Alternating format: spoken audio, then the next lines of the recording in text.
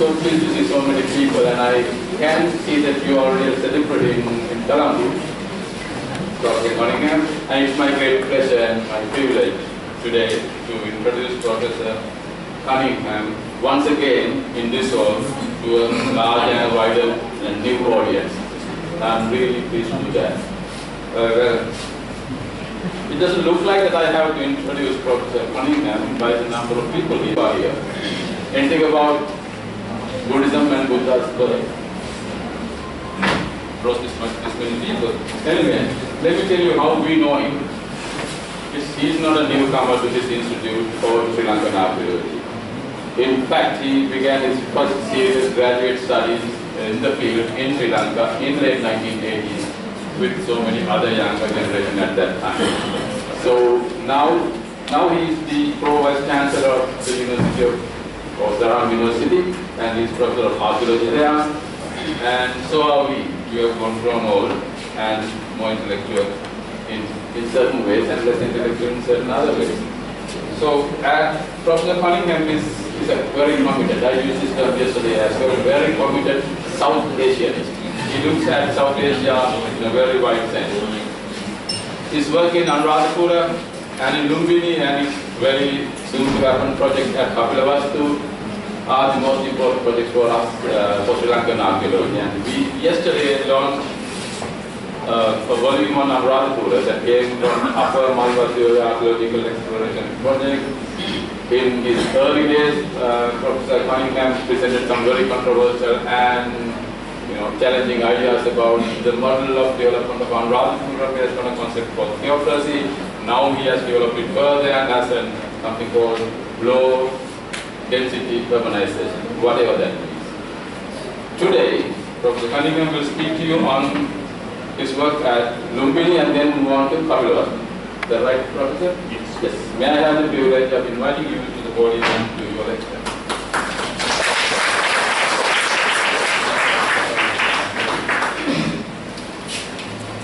Thank you, uh, thank you very much, and uh, thank you for your um, interest in, in coming to today to hear the lecture. Um, for me, it's a huge privilege to come to the PGIAR and to have the opportunity of speaking here in Colombo. Um, as Professor Weerasinghe has identified, I first came to Sri Lanka in 1989 as a uh, first year PhD student.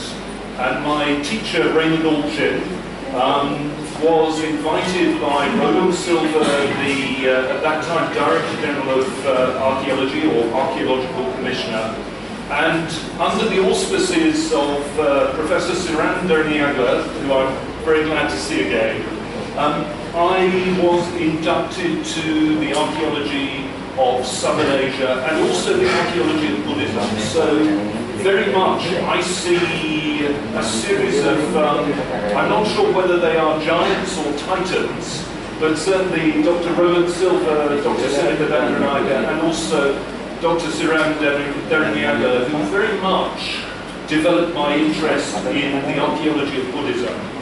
I'm also aware that I have a huge debt to those who have collaborated and worked on joint projects, such as the Upper Malvathu Oya project, which yesterday we were celebrating the publication of volume three of the work, and particularly Professor Gunawardena, who came to Bradford when I was at the university there and encouraged me to start a new project with him to look at the hinterland. And as Professor Weerasinghe has said, we began to take an interest in what was now, we see low density urban forms.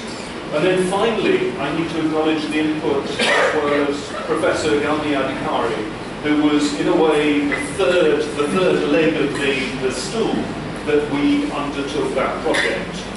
Um, what I'm going to do now is talk about some of the very most recent findings from the project in the natal landscape of the Buddha.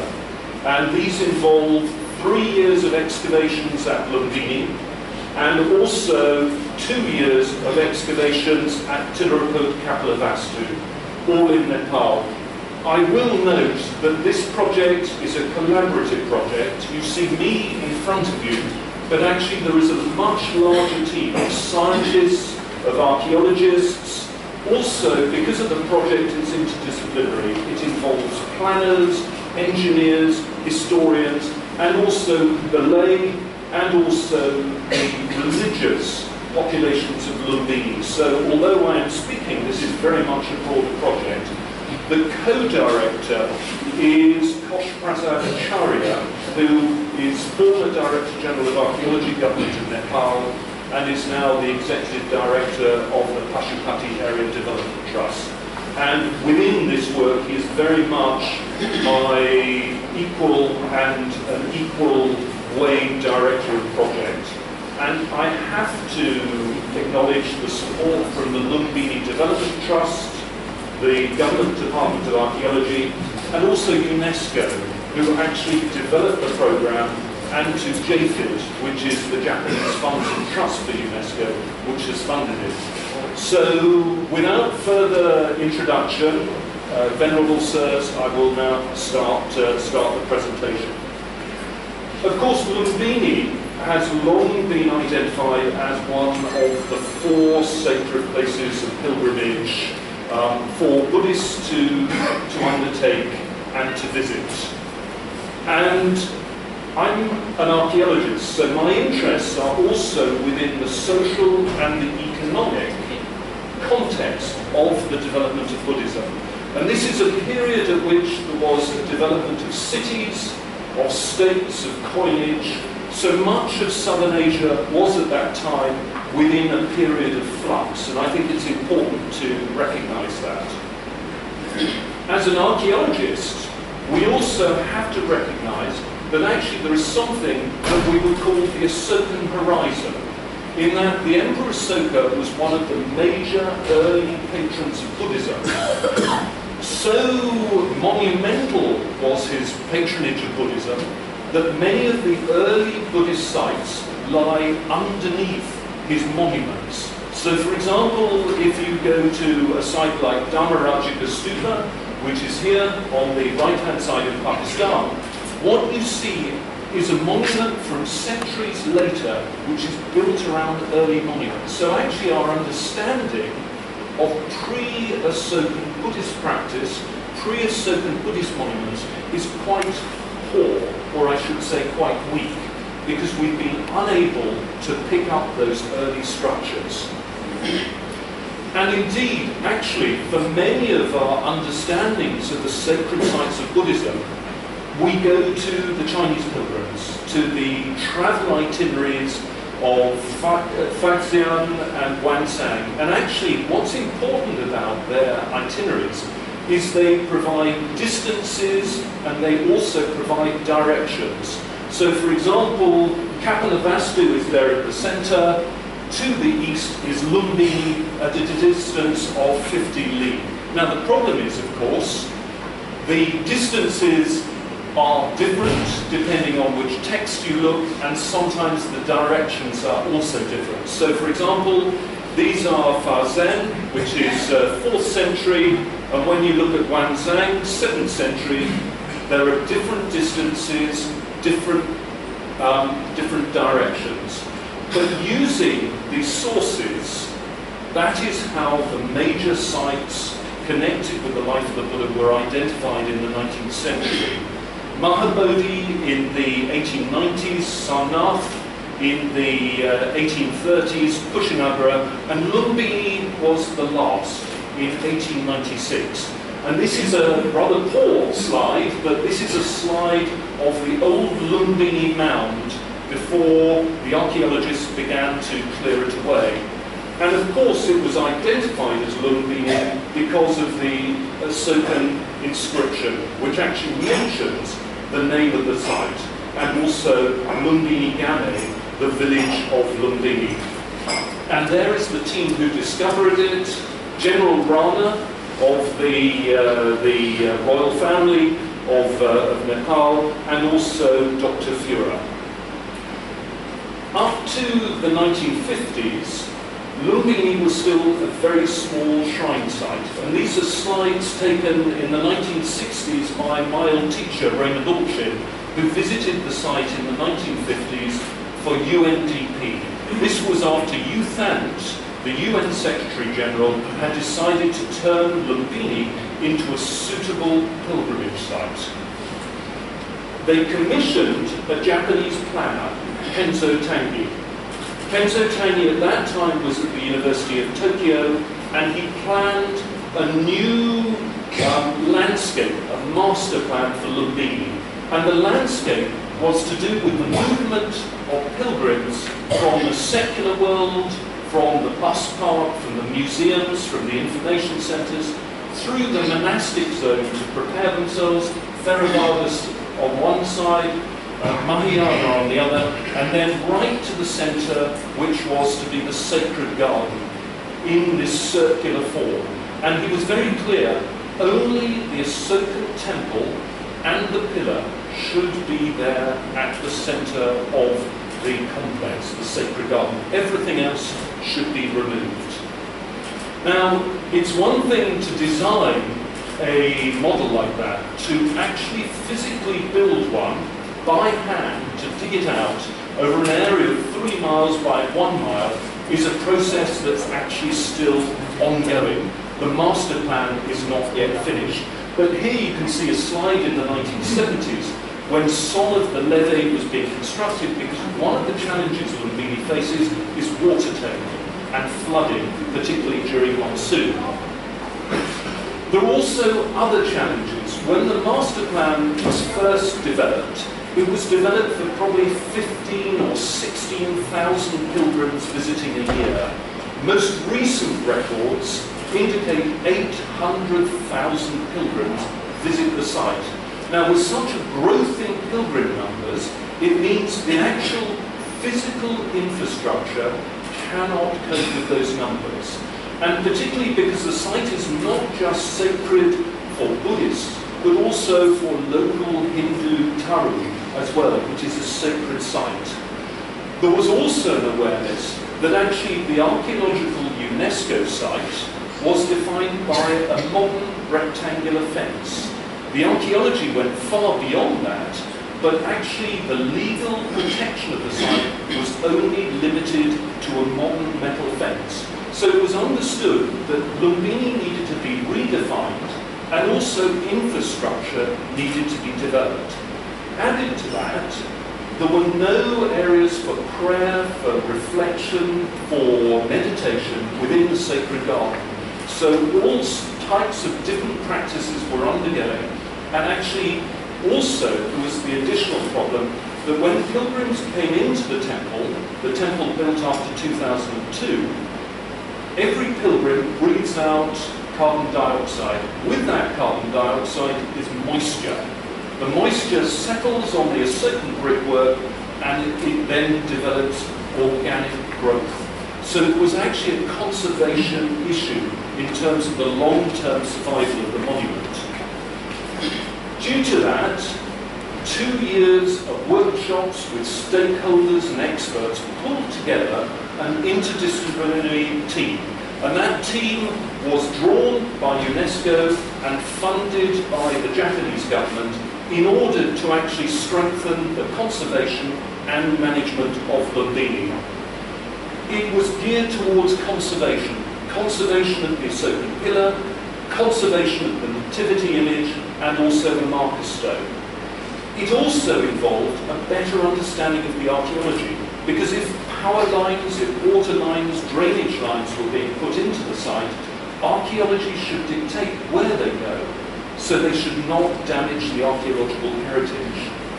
There was an understanding that planners need to be involved in terms of planning where the walkways go and an integrated management plan. At the beginning, we were naive to think it was a plan. We've now changed that to an integrated management progress, a process which actually undertakes year after year, not a single plan. And then finally, we geared towards capacity building for people at the site.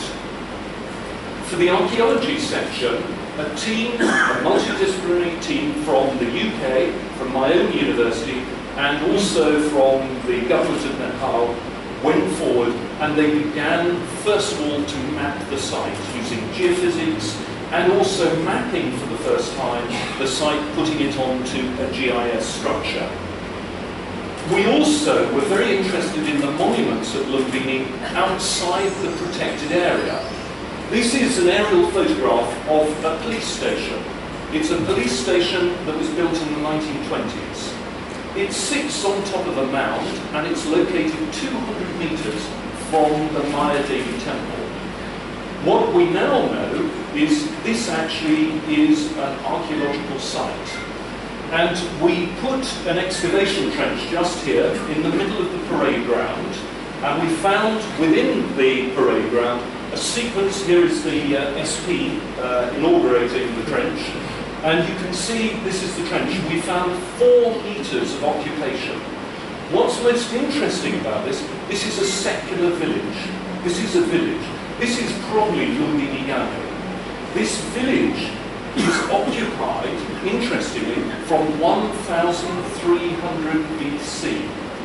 And what's interesting, it indicates Lumbini was not a vacuum before the birth of the Buddha. Actually, this is a populated area, this is an agricultural area, and we now know there is a long depth of occupation within the region before the actual advent of the Buddha.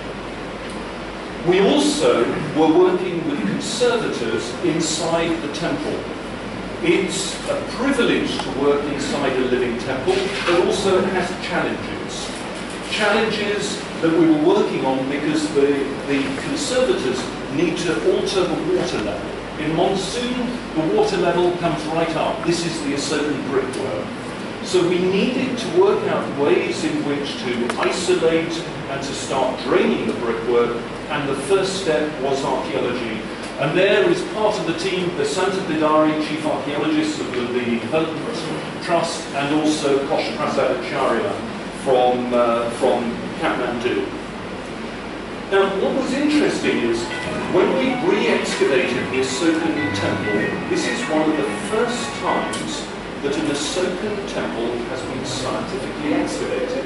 The only other temples, of course, were at uh, Sarnath, but that was excavated by John Marshall in the 20s, and also by Bairat, which was excavated by Sahni also in the 30s. So then we had this opportunity to use more scientific methods.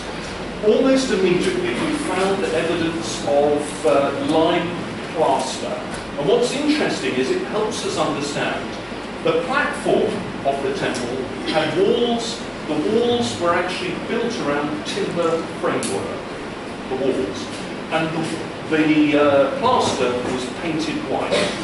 So it gives us a beginning of an idea of, uh, of something of the colour palettes being used. We also found evidence of roof tile, and the roof tile was all around the temple, but most importantly, it was not in the centre of the temple. The centre of the temple had absolutely no roof tile. Probably most surprising, underneath the Mauryan temple, the Asokan temple, 50 centimetres beneath it, we found a floor, a floor of an earlier temple. And the floor, you can see, is particularly well preserved here. This is the floor, that is part of the Mauryan wall, built right on top. Often on archaeological sites, when you build a new building, you destroy the old building, reuse part of the structures, build on top. This is quite different this building was very carefully covered by a layer of soil and the Asokan temple built on top by about 50 centimetres. Also what was very noticeable was the bricks of this pre-Asokan structure were enormous. Each one weighed 20 kg. 20 kg is extremely large. They're about 48 centimetres by 38 centimetres. And we excavated in different parts of the temple and we know the Asokan temple was exactly the same size as the pre-Asokan brick-built temple. And at the center, where during the Asokan period it had been empty, we found defining the central place some of these bricks in a double curve, defining a central open space. And you can see this is the Mauryan temple very carefully covering the pre-Asokan um, temple below. When we began to excavate and move the curve, we found post holes underneath, following exactly the same alignments. So what we have is a sequence, a sequence of a timber wall, followed by a brick curve, followed by the Asokan structure above. For many years, architects have predicted a transition within Buddhist architecture from timber to brick to stone. Here, actually, in Lumbini, right inside the Mayadevi temple, we find this transition from timber to brick, and then the Asokan monument above. Now, that central area puzzled us because we were wondering why is the central area open? Why is it open? And if you look, this is the uh, section, and you can see there are a number of layers of soil coming at an angle. And we began to hypothesize, normally inside a building you get horizontal layers. If you have layers at an angle, often that can indicate root action. So we work with a group of soil scientists from the University of Stirling. They took a series of microscopic slides and they analysed them and they found degraded and mineralised tree root. So our interpretation is actually the space in the centre of the temple was actually for a tree. Now, in a way, this should not be surprising. It shouldn't be surprising. And when we were dealing with the archaeology, we thought back to the papers of Dr. Roland Silva, also of Professor Senake Bandaranayake, because they had brought attention to a series of Bodhigharas, a series of monuments within Sri Lanka, later monuments, but all of which had a central void, a void that they couldn't explain what was the function. So the interpretation, actually, we find, this is from Bodh so this is slightly later, this relief from the railing of Bodh but you can see this is a depiction of an early tree shrine. And actually, we shouldn't be surprised that layer upon layer upon layer, because all you have to do is go to Anuradhapura, and you see a major tree shrine where over the years embellishments and structures above have been built. Now, this comes with something of a health warning in that this is just an attempt, a first attempt to predict what might we expect the early monuments to look like. During the Mauryan period, we know we have a platform in brick. We know that there are two slots for timbers cut into the floor and that there is use of whitewash. We also know there is brick, uh, sorry, there is tile for a roof, but the central area is open. So this is an artist's impression. It's still to be, uh, I, I, suppose, rigorously defended, but this is a start to see how can we start to predict what Asokan architecture looked like. The structure below, the pre-Asokan structure below, this is what we seem to predict. We have a rectangular brick platform with these large bricks laid horizontally and then in the center we have some of these bricks upright defining a curve. And then underneath this we have evidence of a simple line for posts. Now, we published some of the early findings of this in Antiquity in December. We're now working on the monograph that we will hope to finish this coming year, because clearly the sooner we can try to uh, publish this, the better. In terms of dating, what is fascinating are the dates. We have the Asokan Temple, we have the pre-Asokan brick-built temple, and then we have the timber structure below. We have radiocarbon dates and also optically stimulated luminescence dates from the timber structure, and it gives us dates of the 6th century BC. Underneath that, before any human structures were built, we have evidence that it was farmland, that people were cultivating the soil. What is also interesting is we find northern black polishware, as one would expect, but also in the early layers we have cord impress wares. Cord impress wares which are very much a regional middle Ganga culture, which is fascinating because actually the site has very much a regional character in the early years before the Asokan um, development. Now, part of our project was geared towards capacity building. The Department of Archaeology, University of Tribhuvan, has no field training course. Therefore, every year we took 25 students from Tribhuvan University in Kathmandu and trained them in archaeology, in field archaeology. Also, um, UNESCO sent a team from the Lumbini Development Trust and from the Department of Archaeology to my own university. We, uh, Durham has its own UNESCO World Heritage Site. So we actually live and work in a World Heritage Site.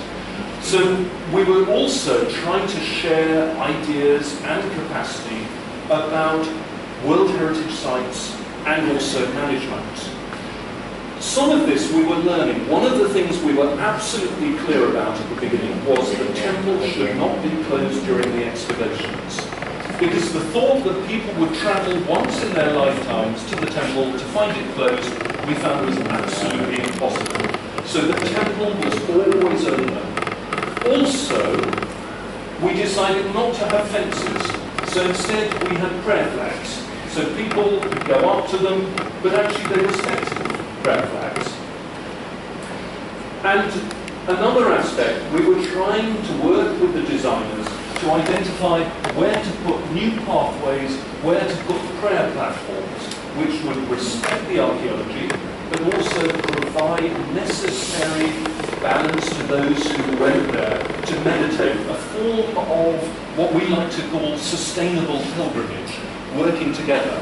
And for future planning, with uh, this archaeological risk map, we've been identifying areas which have very vulnerable archaeology, and then areas which are um, less vulnerable, and therefore if there are drainage or sewage or lighting that needs to be put in, so they can be done.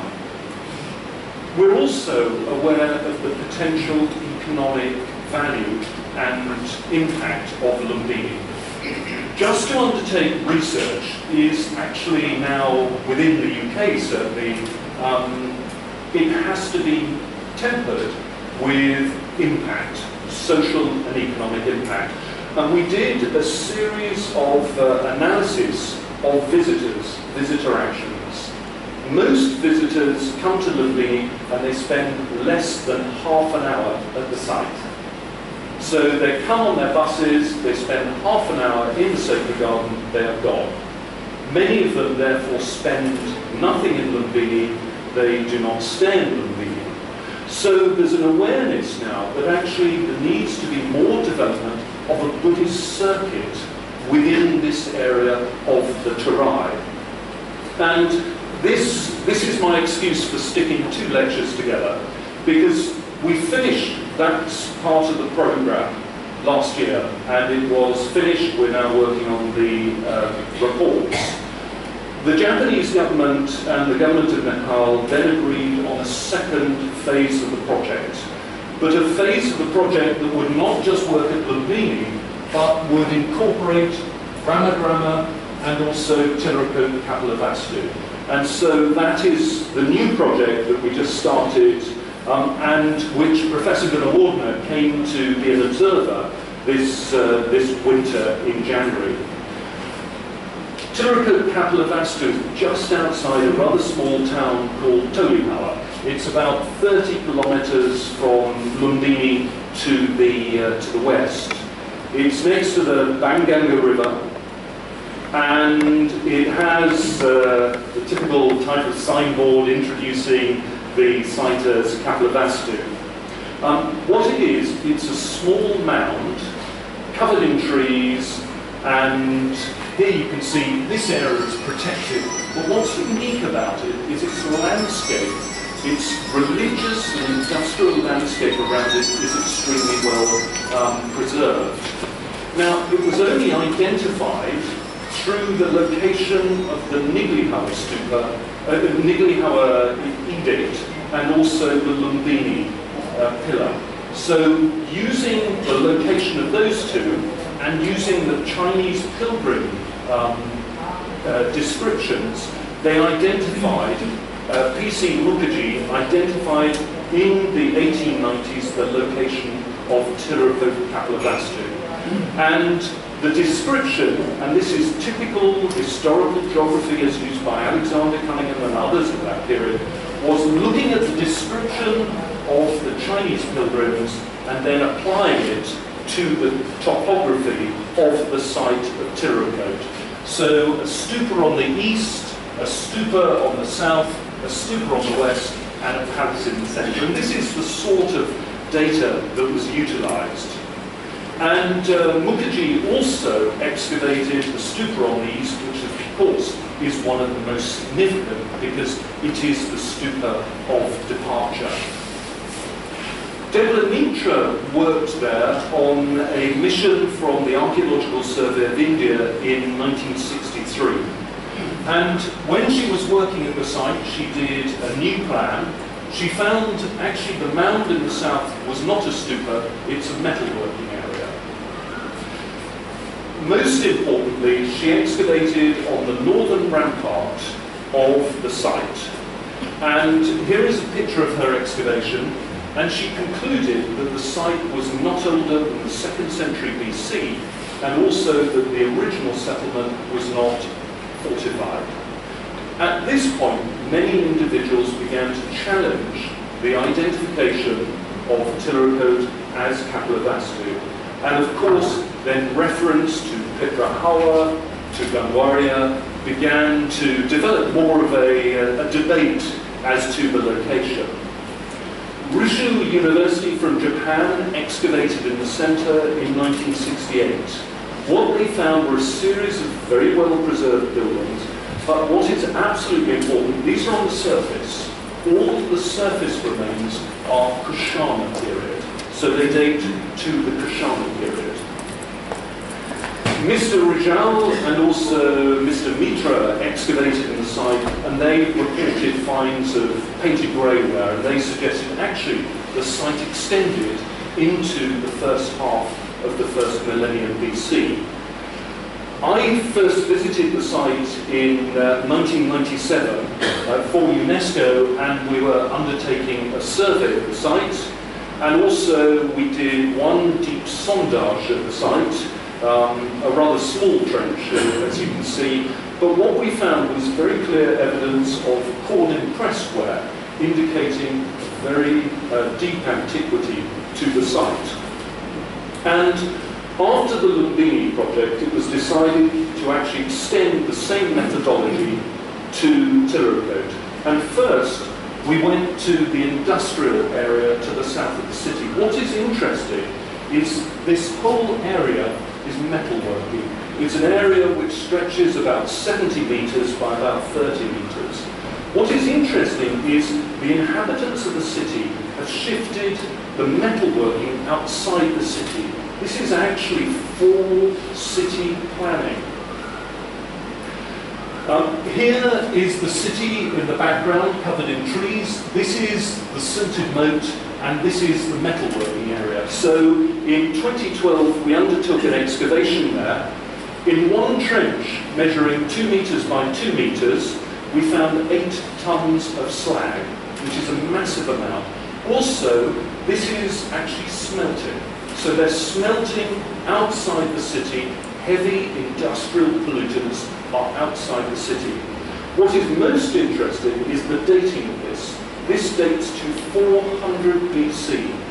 So at this period, this is a pre-Asokan period, there is distinct town planning already in action at the site. In January and February, we had two months of field work this year. So the areas with circles are where we undertook geophysics, and the stars are where we undertook excavations. And our first task was to try and map the site because the maps we have date from the time of Debala Mitra. So the first thing was to try and again create with an EDM a uh, GIS system for the site. We also used archaeological geophysics because when you're dealing with a site where you don't really know its morphology, actually using archaeological geophysics is a very quick and cheap way of recording this. So these areas, this is the city here, these areas in grey are the areas that we undertook geophysics in only three weeks. So you can see in three weeks we were able to do a large segment in the centre of the city, in the east around the stupa, and in the south around the metalworking area.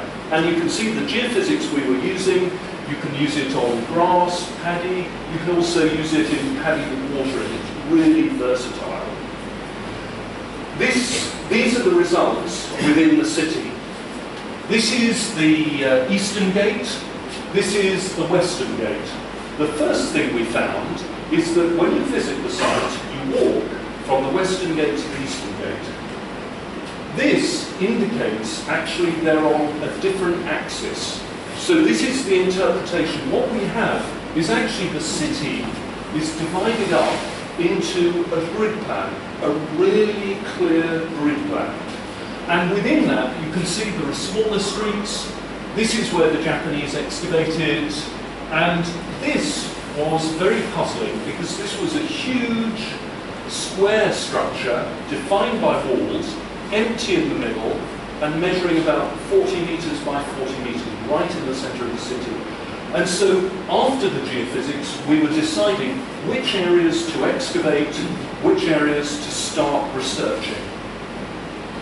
And also a grid plan, and remember this is Kushana period, the grid plan, if you think, actually grid plan cities are rather important centres because they're extremely well planned. And one tends to think of sites like Bhita near Allahabad or indeed Sirkap in Taxila. We also worked near the eastern stupa. So this is the stupa of departure. This land is all privately owned. There's a small patch around the stupa which is owned and protected around by the government.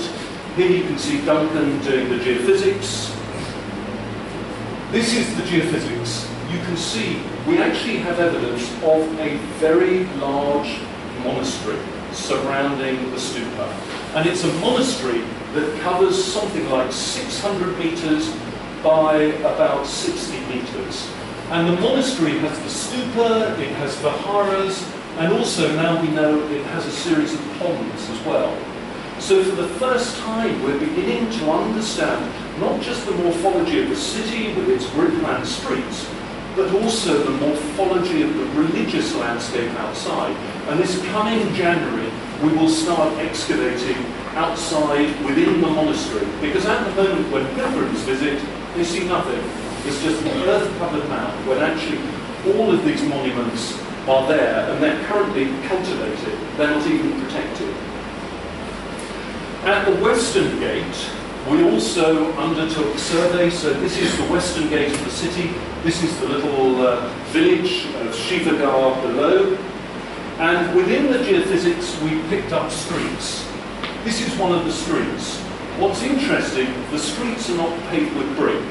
The streets are actually just hollows, in a way, muddy hollows.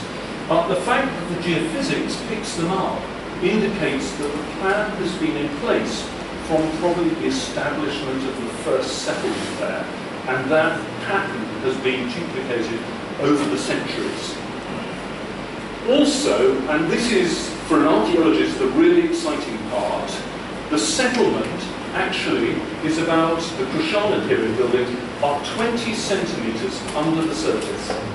So all you have to do is start removing the grass, you find buildings. And you can see the preservation of these buildings is exceptionally good. Having worked in the citadel of Anuradhapura, where the final layers on the surface are often damaged by robber pits, reusing, the site of Tilaurakot, when it was abandoned, it was entirely abandoned. No one continued inhabiting the site, and all of the buildings were left. Also, the architecture is very interesting. None of the walls are higher than five courses, and actually there are very few tiled areas, and the majority of the walls seem to be actually built in timber, probably with straw roofs. So it gives us a very different idea of vernacular architecture at this time, developed, of course, for the Terai. This is another of the challenges of managing the site. This is the pathway from the western gate to the eastern gate. And you can see, because the monuments are so close to the surface, wherever people walk, they find buildings. So you can see this major building was just being uh, destroyed by people, so we opened up a trench there, and actually what we seem to have found is a series of houses and then this structure on its own. And again, we're going to be excavating that structure to see what nature of structure, religious or secular, um, this, uh, this coming winter. Now, also as I mentioned, there was this very large square measuring about 40 metres by 40 metres in the centre of the city. The interior of it was absolutely empty. So we put a trench into it, and what we found is actually it's a pond. It's a pond in the centre of the city. It's actually built into the infrastructure of the city. You have streets running around it, and it's pond. And again, from auger coring, it seems to have been there from the initial occupation of the site. And what's interesting, you don't normally get these sorts of features within city sites. Now, you do, certainly within the Kathmandu Valley, and we're trying to now bridge that gap between the archaeology of the Kathmandu Valley and the archaeology of the Kushana period down within the Terai. We also felt that we had to go back to the trenches of Debala because if you remember, there were two conclusions that Debala reached in the 1960s. One was that the early settlement was not fortified.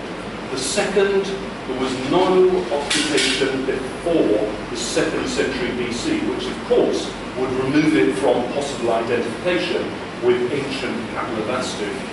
So this is Debala old trench from the 1960s. And what is interesting is Debala left this central area unexcavated. She left it as a port, what we call as a port in archaeology. So she excavated the inside of the rampart, she excavated the outside of the rampart, but she never cut through the rampart itself. She left it unexcavated. And in her interpretation, she wrote pre-fortification phase.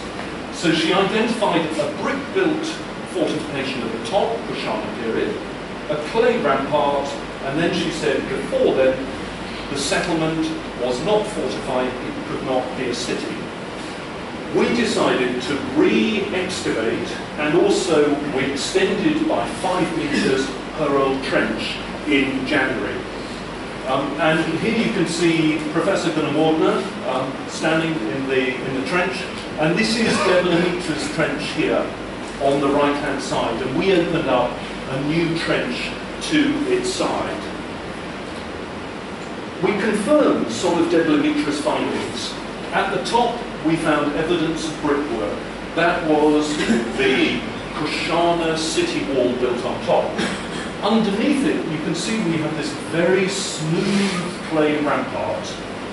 And this has material, Shunga period material, probably Shunga period. What was really fascinating was when we excavated and removed the clay rampart into the area that Debala Mitra had identified as pre-fortification, at the bottom, we found evidence of a timber palisade. Now, you can see very clearly, this is clay, this is clay, this is fill.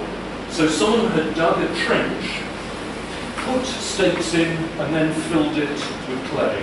We now know, actually, this is two phases of walls. So the early walls of the city site were actually trenches with large posts which then were in. Now, we're waiting for the radiocarbon dates, but again, we've been recovering cord impressed, pottery, which for us gives us a link not only to our own deep excavations within the, uh, the site of Tilaurakot Kapilavastu, but also gives us a link to Lumbini as well. But this sort of evidence is really fascinating, demonstrating this was a site which from the very origins was fortified. And it was fortified in actually quite a, uh, I'll use archaic style. Before the mud, the clay rampart, there was very definitely a wall of timber, a timber fortification. So again, you see this prediction. Once we find the post holes, we find post holes, followed then by clay rampart, followed then by brick rampart, giving us a unique view on the military architecture of this site. We've also been uh, undertaking geoarchaeology because one of the problems with this area is water. Not, not enough water, but too much water. In the summers, this area floods very heavily. It seems that part of the reason of putting the rampart in seems to be because some of the early settlement was flooded. We have evidence of flooding in the early settlement. So some of that fortification wall actually seems to have protected the site from floods because we have evidence of water um, occurring as well. These are just some of the materials. Uh, we have Shunga plaques, we have some uh, Kushana type material as well. Uh, we also, if I remember, have 150,000 potsherds which are currently being analysed and worked on. We also have been training. So again, we took students from uh, the University of Tribhuvan in Kathmandu, and also we've been training uh, staff members from the Lumbini Development Trust and the Department of Archaeology. We also decided it was important to start recording visitor uh, numbers, how long visitors stay on the site. And what is clear is actually even numbers visiting Tilaurakot are beginning to increase. Um, and you'll see, you'll see something of a stagger that was uh, partly mapped against the Maoist uh, insurgency. But numbers are creeping up to about 30,000. Many of them Nepalis, many of them from Myanmar. But again, the problem is people are spending about 40 minutes at the site, coming to the site and going away. And so we've been working with the community there who've come to visit, they have updating briefing meetings to see how to develop the site further. For example, there are some basic issues with planning. The car parks are not big enough. People are beginning to buy land around the site, often on the archaeology, to build temples or to build hotels. Asia Development Bank has just completed a major portion of road close to the site. There will be more pilgrims visiting the site, but actually the infrastructure is extremely low, and I believe there is only one lavatory um, as well at the site. Now, what we've been doing is actually working with the planners and the engineers and we've been beginning to use the archaeology, the results of the geophysics, to start planning land use. So we have an archaeological core, a controlled area with archaeological sites in. Then areas which are the setting, which will be agricultural, and then restrictions, so there are no industrial developments. One of the problems within the Terai is as soon as a major road is built by Asia Development Bank, get industries buying up land along it. So actually restricting the usage of these. And we're now working with the Chief District Officer, with the Local Development Officer, to look at turning this idealized land use into an acquisition. So the Chief Secretary came down and actually working with him, we're beginning to work up prioritization for a moratorium on planning, zoning land, so we can start to actually preserve the site not just for a generation, but for, we hope, future generations as well. It's not just planning outside the city, it's also planning inside the city. People spend about half an hour walking round. What we're planning to do is actually to start excavating and exposing structures, partly so people can spend longer at the site, so there's more to see at the site, and also so they're informed about the site. But these are not going to be permanent paths. Working with planners, the Japanese planning team, actually we're looking at having temporary prayer platforms, meditation platforms, and also temporary pathways so that as the research, as the excavation, as the conservation progresses, the pathways are actually flexible.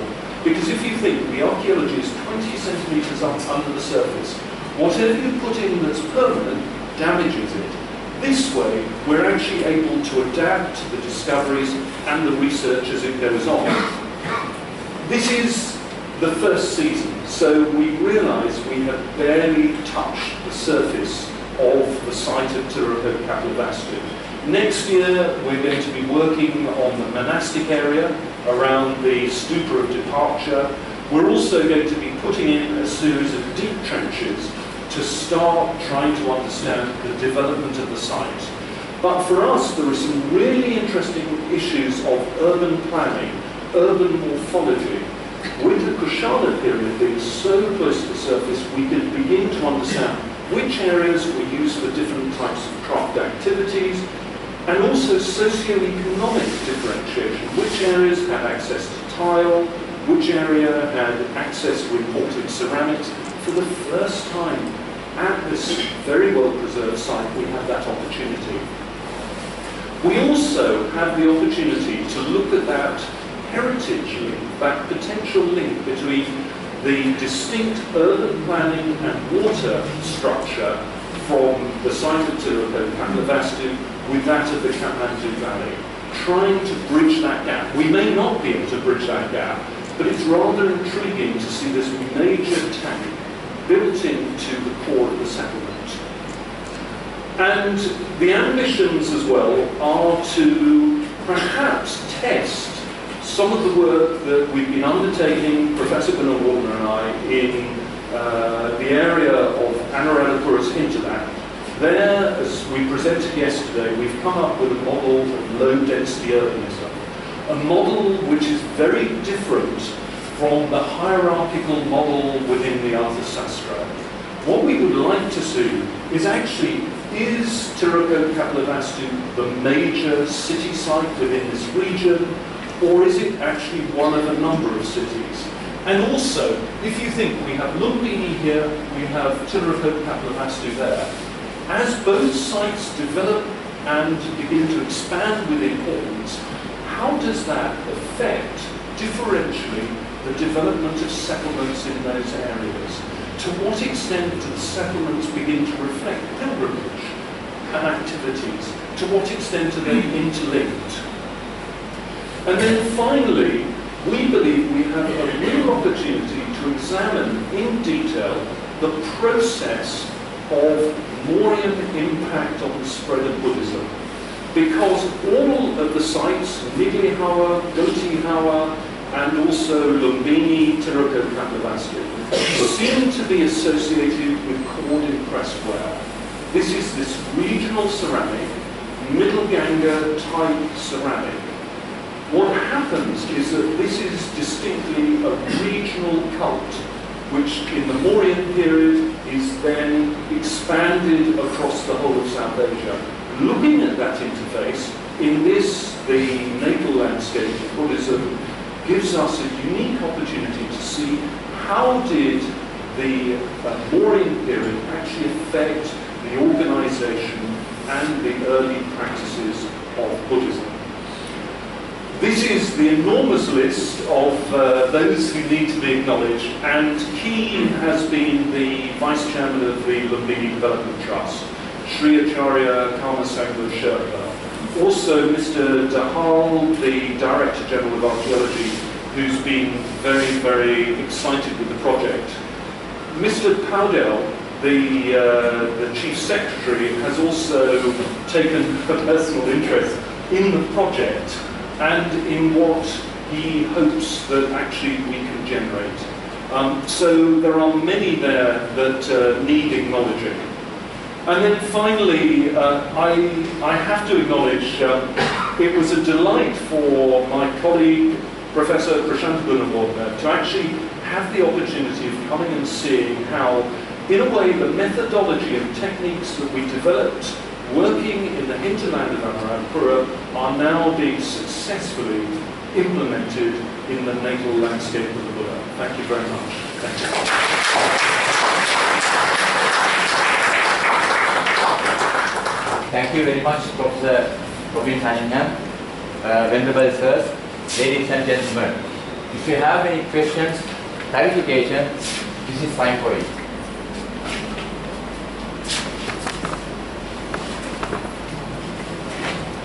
This is very wonderful presentation. I am also a research scientist.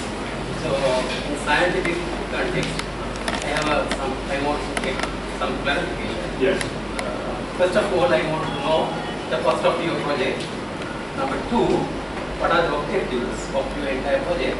Number three, what is the hypothesis of your research project? Okay. In terms of the project, we published a paper in Antiquity in December. So that project, uh, that paper, has a detailed understanding of our objectives. Uh, there is the UNESCO website uh, in the Kathmandu uh, field office, which presents our entire aims and objectives, our methodologies. So in terms of the technical approach, it's all there on the UNESCO website. So I would direct you to look at the UNESCO website. At the beginning I said the objectives are to enhance the management and conservation of Lumbini and also other sites within the uh, natal landscape of the Buddha. Our own archaeological uh, identification had been to characterize and date and map the archaeological remains so then that mapping can inform the conservation and the engineering and planning needs. So the data is all there on the websites. Those are our working hypothesis because if we had merely had an academic hypothesis, to undertake this work would been very short-sighted. To work side by side with planners, with conservators, and also with those responsible for managing the sites, that is the interdisciplinary nature of the project. Cost entire, entire cost of Sorry? Entire cost of uh, the, uh, the cost structure for the entirety of the project was 870,000 US dollars. Now, that includes a proportion which is allocated to UNESCO. It includes the running of field offices for UNESCO. Uh, my own uh, element is uh, very, very much smaller. So we have been very successful in actually obtaining funding from elsewhere. And one of the elements of funding that we obtained was from National Geographic Society. So we were aware of the importance of working at the site, and we were aware also that this was a unique opportunity, and probably the only opportunity that we have of working inside the temple. So we wanted to make sure that whatever we did was actually filmed. So our excavation, for example, of the post holes for that earliest structure, that was filmed, time-lapse photography. You can see as the post holes are steadily excavated. There is an hour-long film which you can actually see the project as it developed. Um, we were very lucky, they were generous. Uh, I also persuaded my Vice-Chancellor to donate my time and the time of all of the UK researchers. So all of their costs were covered by my university.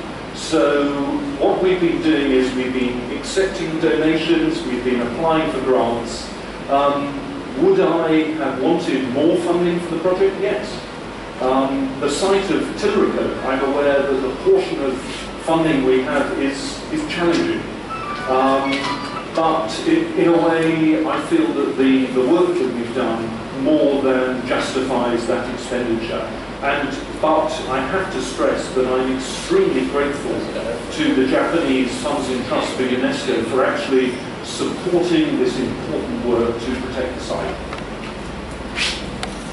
Could I ask you to expand a bit about the carbon dates that you got from the temple at Lumbini hmm. and what that signifies? Yeah, okay. The dating, we have we had a view that if we use one technique of dating, it really is insufficient. And I had a long discussion with Dr. Deraniyagala yesterday evening, and we were discussing the various merits of dating techniques. Radiocarbon dating used to be the most advanced method of dating because a piece of bone or a piece of carbonized timber, you can actually identify the date from the analysis. Now, what is clear is there are some challenges with radiocarbon dating because bone and charcoal are quite resilient. By snake holes, rat holes, movement of the soil, samples can go up and samples can go down. Similarly, you only ever get a range because you have to map it against an extremely wobbly curve. And at the intersection of the curve, you, you present the date. So radiocarbon dating on its own, we felt was not good enough. Radiocarbon dating has the advantage that it's cheaper. Um, for us, it, it costs about uh, 150 pounds. We use also another type of dating, optically stimulated luminescence dating, and that is dating on soil. And the importance is when a piece of charcoal or bone can go up or down sequence, soil does not. Soil is actually in situ, and it works on the energy within the soil. So it works on radiation and energy, and solid work that we, we were working on. Actually, we were using in the, around in the hinterland of Anuradhapura, so we're using both sets of data. And for us, consistently, we know, for example, that the area of Lumbini was occupied from 1300 BC onwards, and that that earliest structure was dating to the 6th century BC. Now, we published that data. The data is all published in the journal Antiquity. We're absolutely clear that what we have is a transparency of reporting. We are now working on the final monograph where we are taking all of the data into account because we have now probably about 40 radiocarbon dates and OSL dates for the site as a whole. So our preliminary findings are still, we believe, supporting. It suggests that that earlier timber structure dates to the 6th century BC.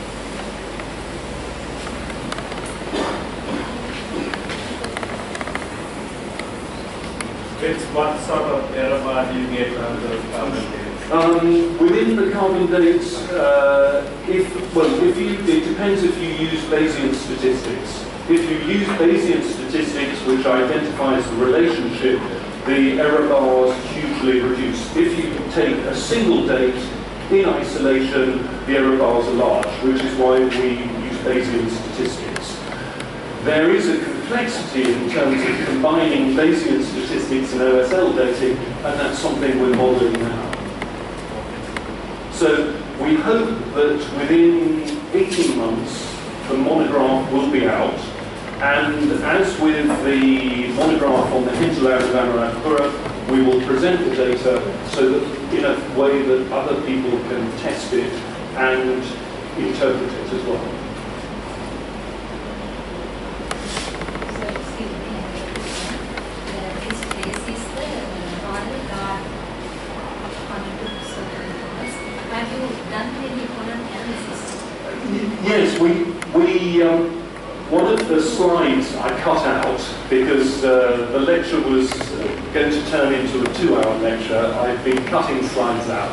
And one of the activities that we had was to try and inform the planners of the modern garden in terms of what, what endemic species are there. So we did a series of auger cores, partly to identify how large the site was under the surface, and we picked up part of an ancient river channel. So to the north of, uh, to the northwest of the temple, under the ground, you can't see it on the surface, there is an old river channel. A river channel that might be about 30 metres wide, and the bottom of the channel is about four metres deep. So we cut a trench into the, uh, the old river channel, and we've taken out samples to work on pollen. Initial findings are no pollen has survived, but there do seem to be some phytoliths. So what we're now trying to do is to identify the phytoliths so we can begin to understand what sort of trees and plants were growing there. The other project that we're working on is we're testing to see whether you can identify the species of a tree from the oil in the leaves. So, working with the University of Stirling and the research laboratories of the Scottish universities, we're undertaking a study of the oils and the fats in different species of trees to see are they sufficiently different so that when they rot in an archaeological context, can you tell them apart? Now this is, this is a new technique. It's still being undertaken, but uh, I'm, I'm interested to, see whether it will be possible. Uh, there are limits to archaeological science, I, I am aware. is quite high.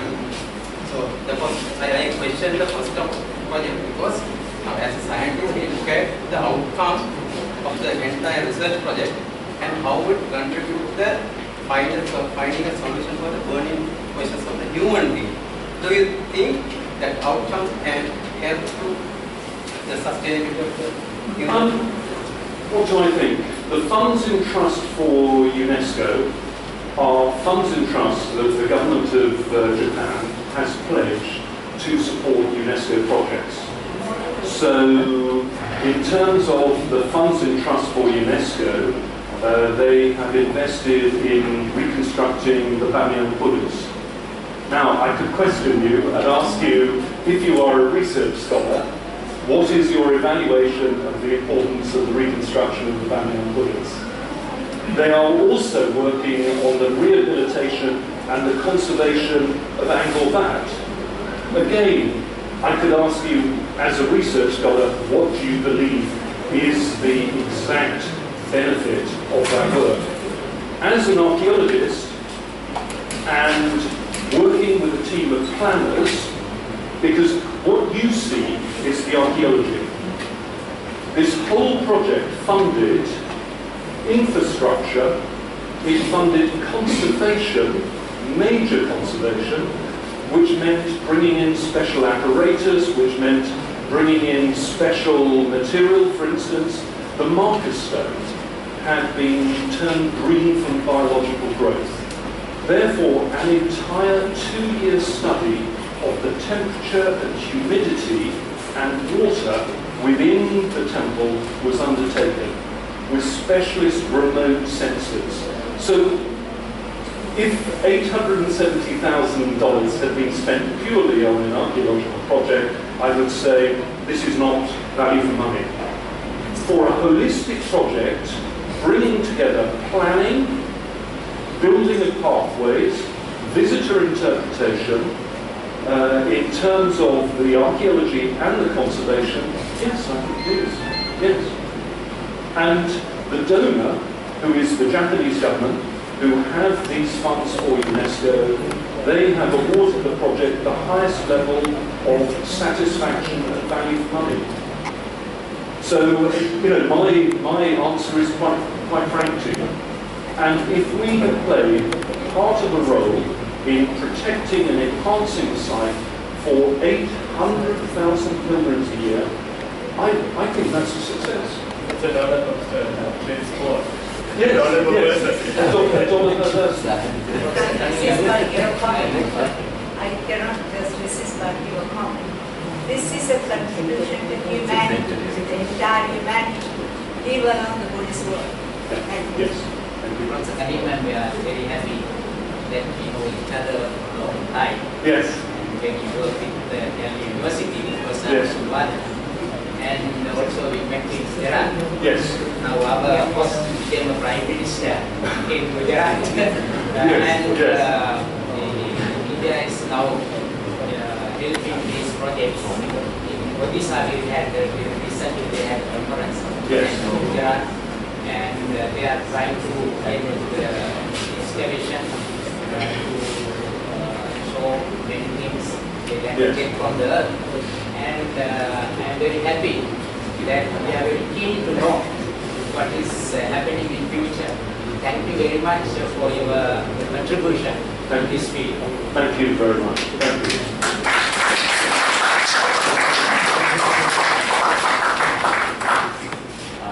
Next, uh, in fact, we have another exciting event.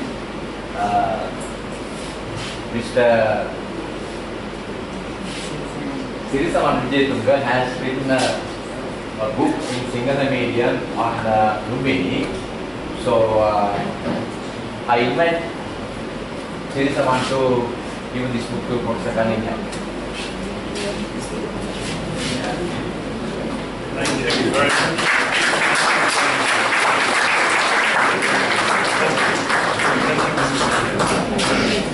Ladies and gentlemen, uh, we think that you have very clear idea on the and Kapilavastu. And before winding up, uh, Director Media invite you all to join me in the outside of the auditorium. Thank you very much for your coming for the lecture.